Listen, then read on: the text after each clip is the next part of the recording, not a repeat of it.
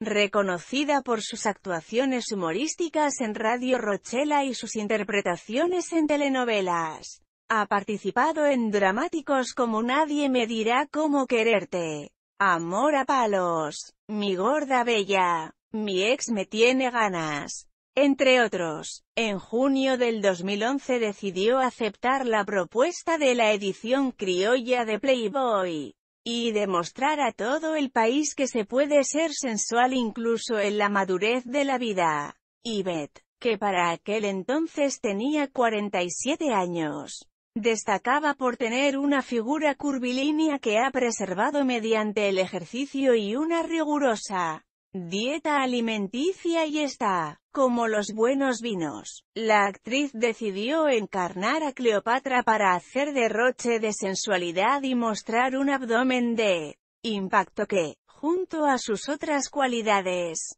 dejaría boquiabiertos a los lectores de la revista del conejito. Lamentablemente, en julio de 2011 su madre, Dilia Magdalena Valderrama Velázquez, fue asesinada por el AMPA en su vivienda. Actualmente es entrenadora en su gimnasio y hace fitness. En septiembre 2016 anunció que padece de cáncer.